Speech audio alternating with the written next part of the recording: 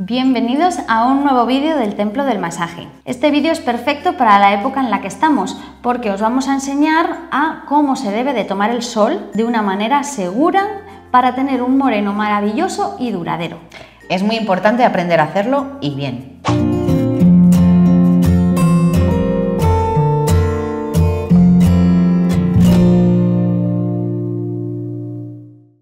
Para conseguir el moreno perfecto es imprescindible seguir estos tres pasos, sin saltarse ninguno.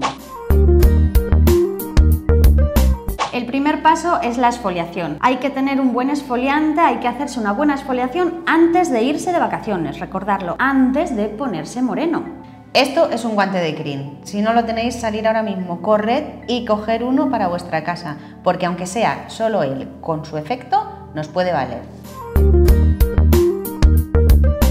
El segundo paso, protegerla. Protegerla, claro que sí. Y para protegerla hay diferentes protecciones solares. Tenemos de diferentes grados y eso va en base a los gustos. Pero nosotros siempre recomendamos tener uno de protección alta que haga pantalla, un 50, y luego tener alguno un poquito más suavecito, más ligero o más cómodo de aplicar, como puede ser el de 15 o el de 20. Siempre el de máxima protección, échatelo en casa antes de salir, por todos los rincones. Desnudita total que no te dejes ni un solo centímetro de piel sin echarle la protección máxima. Luego ya te puedes vestir, te pones el bikini, te preparas con tu ropita de playa y te vas para la playa.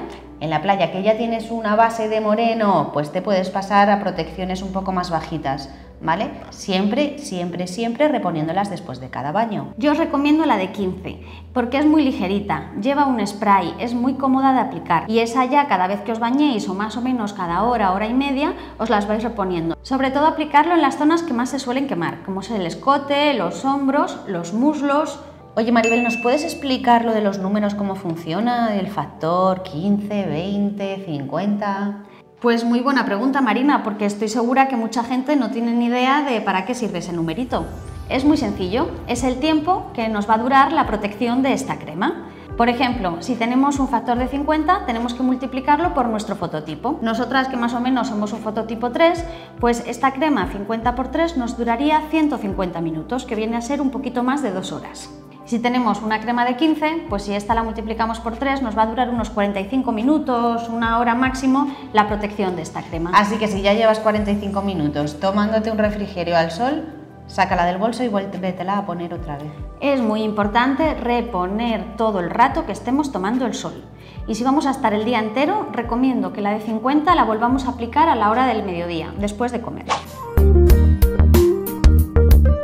Y como último, pero no menos importante, porque este es básico para que el moreno nos dure, es un buen aftersun, un buen recuperador de la piel después de todo ese día de sol. Claro, porque ¿qué creéis? ¿Que estando al sol todo el día el agua que tenemos en la piel se va a quedar ahí? No, se evapora como si echas agua en el suelo. Así que lo que va a hacer el aloe vera es terminarnos de aportar todo el agua que se haya ido, nos va a regenerar la piel, nos va a regenerar la quemadura que se haya podido producir y así tendremos la piel al día siguiente otra vez como nueva. ¿Te acuerdas de aquel verano, Maribel, en el que tú y yo todavía estábamos solteras y nos fuimos de vacaciones a Ibiza? Ay, sí, me acuerdo. Ese fue el verano que descubrimos cómo se debe de cuidar una piel. Y era así de fácil. Primero, por la mañana nos echábamos bien las cremas, como os hemos dicho. Luego nos tomábamos el sol y después al llegar por la noche a casa cuando te duchas hay que retirar muy bien todo ese exceso de crema y ahí es donde usábamos nuestro guante de cream todas las noches. Sí, y en esta ocasión como nos habíamos pulido previamente en casa antes de empezar las vacaciones, lo hacíamos un poco más suave, tampoco te tienes que pasar, que lo vas a hacer todos los días. Pero un poquito sí, porque hay que quitar todos los restos de la crema y ya luego después nos poníamos nuestro aloe vera y mm. cómo nos quedaba la piel. Fabulosa. Vamos, hace años no tengo esa sensación.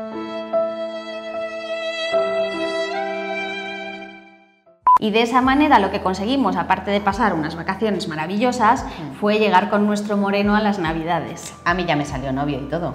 Bueno, amiguis, pues hasta aquí el vídeo de cómo conseguir el mejor bronceado del verano. Ya sabéis, ponerlo en práctica y si funciona, por favor, comentarnos vuestras opiniones, a ver qué os ha parecido, que tenemos muchas ganas. Dale al like y te esperamos en el próximo vídeo. Adiós.